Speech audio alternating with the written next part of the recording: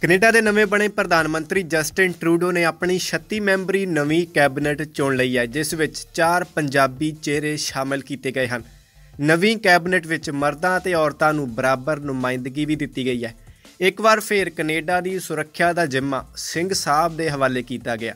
ਪਿਛਲੀ ਸਰਕਾਰ ਵਾਂਗ ਹੀ ਸਰਦਾਰ ਹਰਜੀਤ ਸਿੰਘ ਸੱਜਣ ਕੈਨੇਡਾ ਦਾ ਰੱਖਿਆ ਮੰਤਰੀ ਬਣਾਏ ਗਏ ਹਨ। ਪਿਛਲੀ ਸਰਕਾਰ ਸਮੇਂ ਵੀ ਕੈਬਨਿਟ ਵਿੱਚ ਸ਼ਾਮਲ ਰਹੇ ਸਰਦਾਰ ਨਵਦੀਪ ਸਿੰਘ ਬੈਂਸ ਨੂੰ ਵੀ ਪੁਰਾਣਾ minister of innovation science and industry ਮਹਿਕਮਾ ਮਿਲਿਆ ਪੰਜਾਬੀ ਮੂਲ ਦੀ ਹੀ ਅਨੀਤਾ ਆਨੰਦ ਨੂੰ ministry of public services and procurement ਬਣਾਇਆ ਗਿਆ ਹੈ, ਜਦਕਿ ਬਰਦੀਸ਼ ਕੌਰ ਚੱਗਰ ਨੂੰ ministry of diversity inclusion and youth ਦਾ ਮਹਿਕਮਾ ਦਿੱਤਾ ਗਿਆ ਟਰੂਡੋ ਦੇ ਨਵੇਂ ਮੰਤਰੀ ਮੰਡਲ ਵਿੱਚ 7 ਨਵੇਂ ਚਿਹਰੇ ਸ਼ਾਮਲ ਕੀਤੇ ਗਏ ਹਨ। ਕਈ ਮੰਤਰੀਆਂ ਦੇ ਮੰਤਰਾਲੇ ਬਦਲੇ ਗਏ ਹਨ। ਕ੍ਰਿਸਟੀਆ ਫਰੀਲੈਂਡ ਨੂੰ ਡਿਪਟੀ ਪ੍ਰਾਈਮ ਮਿਨਿਸਟਰ ਬਣਾਇਆ ਗਿਆ ਹੈ।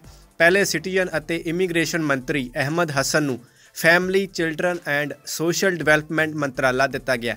ਕੱਲ ਓਟਾਵਾ ਵਿੱਚ ਕੈਨੇਡਾ ਦੀ ਲਿਬਰਲ ਸਰਕਾਰ ਦੇ ਨਵੇਂ ਮੰਤਰੀ ਮੰਡਲ ਨੂੰ ਸਹੁੰ ਚੁਕਾਈ ਗਈ।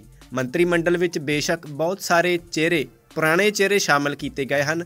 ਉਹਨਾਂ ਵਿੱਚੋਂ ਕਈਆਂ ਦੇ ਮਹਿਕਮੇ ਵੀ ਉਹੀ ਰਹਿਣ ਦਿੱਤੇ ਗਏ ਹਨ, ਪਰ ਇਸ ਵਾਰ ਕਈ ਮੰਤਰੀਆਂ ਦੇ ਮਹਿਕਮੇ ਬਦਲ ਵੀ ਦਿੱਤੇ ਗਏ ਹਨ।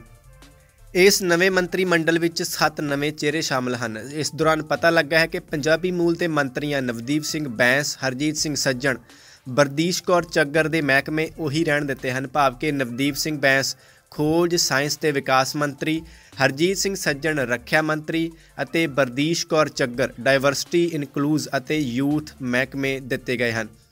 ਮੰਤਰੀ ਮੰਡਲ ਵਿੱਚ ਸ਼ਾਮਲ ਨਵੇਂ ਪੰਜਾਬੀ ਚਿਹਰੇ ਅਨੀਤਾ ਆਨੰਦ ਨੂੰ ਪਬਲਿਕ ਸਰਵਿਸਿਜ਼ ਅਤੇ ਪ੍ਰੋਕਿਉਰਮੈਂਟ ਦਾ ਮੰਤਰਾਲਾ ਦਿੱਤਾ ਗਿਆ ਹੈ। ਹੋਰਾਂ ਮੰਤਰੀਆਂ ਵਿੱਚ ਕੈਰੋਲਿਨ ਬੈਨੇਟ ਉਹਨਾਂ ਨੂੰ ਕਰਾਊਨ ਇੰਡੀਜੀਨੀਅਸ ਰਿਲੇਸ਼ਨ ਮੰਤਰੀ ਦਾ ਅਹੁਦਾ ਫ੍ਰੈਕੋ ਫਿਲਨ ਇਹਨਾਂ ਨੂੰ ਵਿਦੇਸ਼ ਮੰਤਰੀ ਬਣਾਇਆ ਗਿਆ ਹੈ। ਜੀਨ ਵੇਸ ਡੁਕਲੋ, ਇਹ ਖਜ਼ਾਨਾ ਮੰਤਰੀ ਬਣਾਏ ਗਏ ਹਨ। ਮਾਰਕ ਗਾਰਨੀਓ, ਟਰਾਂਸਪੋਰਟ ਮੰਤਰੀ। ਮੈਰੀ ਕਲਾਉਡੇ ਬੇਬਿਓ, ਖੇਤੀ ਮੰਤਰੀ। ਬਿਲ ਬਲੇਅਰ, ਪਬਲਿਕ ਸੇਫਟੀ ਮੰਤਰੀ। ਕਰੀਨਾ ਗਾਉਲਡ ਇੰਟਰਨੈਸ਼ਨਲ ਡਿਵੈਲਪਮੈਂਟ ਮੰਤਰੀ।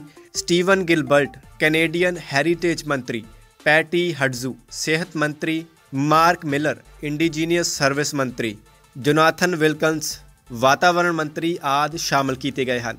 ਸੋ ਨਵੀਂ ਚੁਣੀ ਕੈਬਨਿਟ ਨੂੰ ਵਧਾਈਆਂ ਵੀ ਅਤੇ ਟਰੂਡੋ ਤੇ ਸਮੂਹ ਕੈਨੇਡਾ ਵਾਸੀਆਂ ਦਾ, ਸਿੱਖਾਂ ਤੇ ਪੰਜਾਬੀਆਂ ਵਿੱਚ ਇੱਕ ਵਾਰ ਫਿਰ ਭਰੋਸਾ ਜਤਾਉਣ ਦਾ ਬਹੁਤ-ਬਹੁਤ ਧੰਨਵਾਦ। ਉਮੀਦ ਹੈ ਨਵੀਂ ਕੈਬਨਿਟ ਵੀ ਆਪਣੀ ਪਿਛਲੀ ਸਰਕਾਰ ਦੇ ਕਾਰਜਕਾਲ ਵਾਂਗ ਹੀ ਕੈਨੇਡਾ ਦੀ ਭਲਾਈ ਲਈ ਕੰਮ ਕਰੇਗੀ।